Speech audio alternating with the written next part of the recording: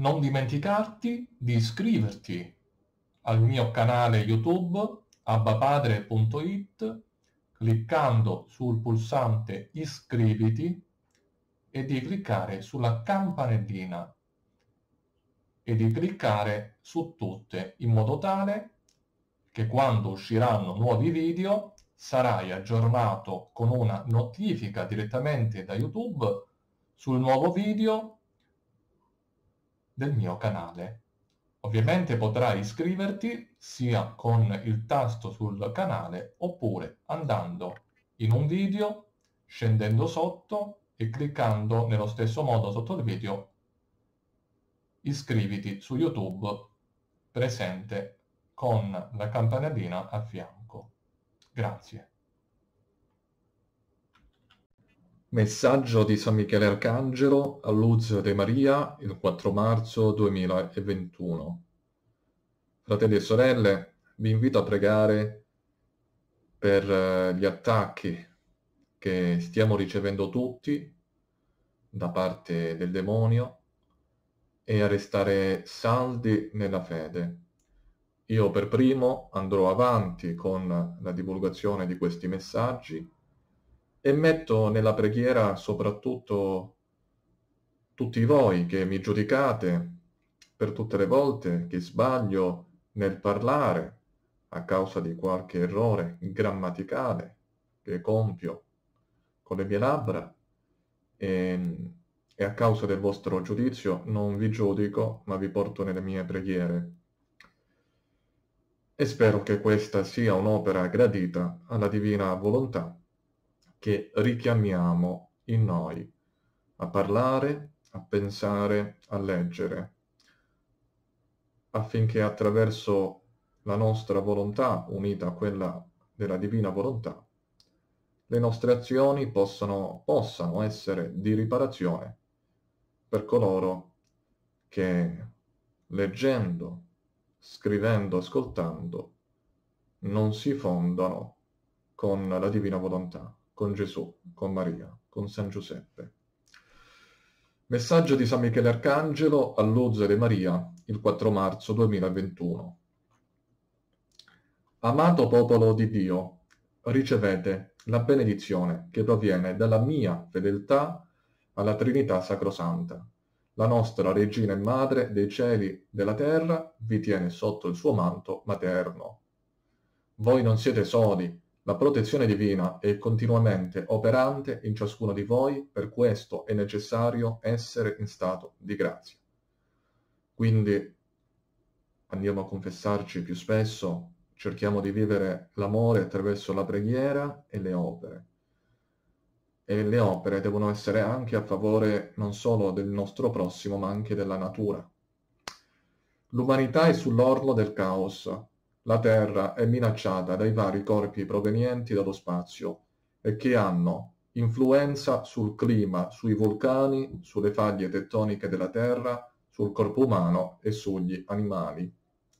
Coloro che hanno vissuto nell'opulenza e nella sicurezza economica sono passati adesso a vivere la fragilità dell'economia e a constatare quanto la Terra sia distruttibile.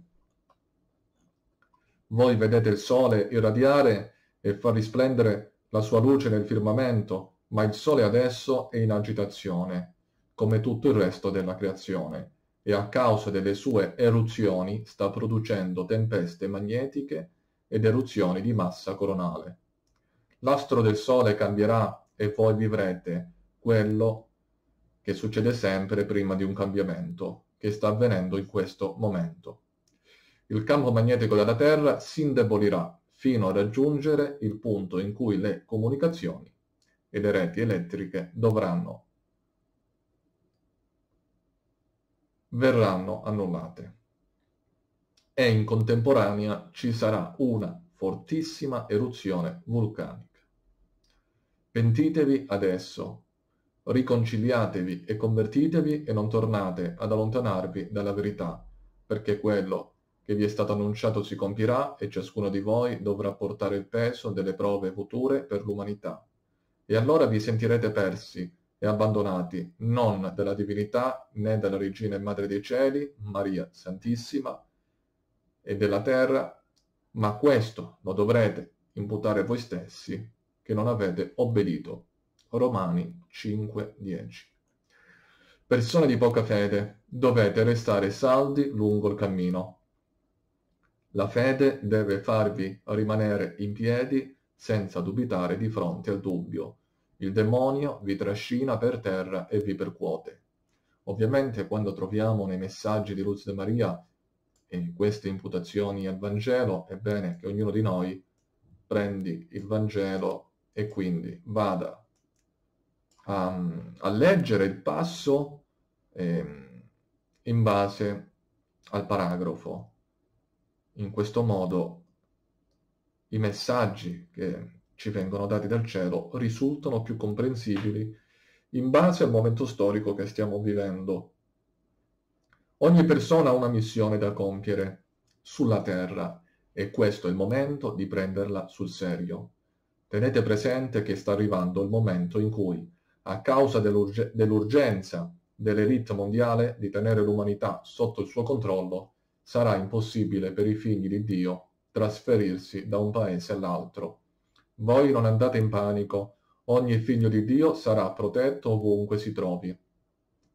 Ad ogni rifugio dei sacri cuori arriveranno le persone che devono arrivare, così come le case consacrate ai sacri cuori. Se state vivendo nel compimento della divina volontà, sono e saranno protette. Popolo di Dio, questo è il momento del risveglio delle coscienze e di prepararsi per gli attacchi che il male scaglierà su tutta l'umanità. Siete in tempo di Quaresima, continuate a pregare e fare riparazione e di interiorizzare il comportamento, il modo di agire quotidiano e migliorare. Questo, per voi creature di Dio, è il momento del massimo sforzo. L'arca è stata costruita, io ho chiamato in continuazione l'uomo perché vi entri con fede e continui a supplicare. L'arca è quella preghiera attiva dell'azione, dell'amore per il prossimo, della certezza della fede, della retta via, così che vi prepariate e non rimaniate paralizzati davanti allo scisma che si sta avvicinando. Popolo di Dio, non dite, è una bella giornata. Perché vedete il sole brillare? Non dite, è nuvoloso, perché non vedete il sole brillare il Sole sarà offuscato da una grande eruzione vulcanica.